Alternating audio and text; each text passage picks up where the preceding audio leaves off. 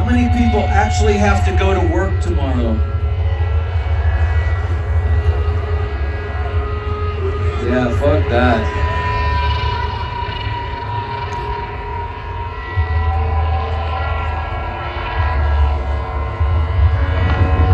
kind of want to keep this 1999 thing going a little bit. Fuck it, right? We're here.